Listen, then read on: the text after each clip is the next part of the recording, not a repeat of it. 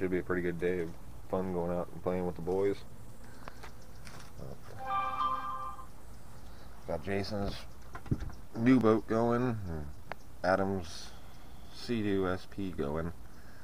Motor swap on that, and gonna go test her out. Should be a pretty fun day out there playing around. Getting everything all cleaned out and ready for today. Should be a good day. The old bass boat. Mercury. Man, I love getting out here early. It's so nice out here. Getting everything ready.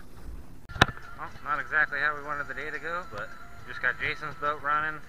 Now he's trying to get the truck out. The Sea-Doo over there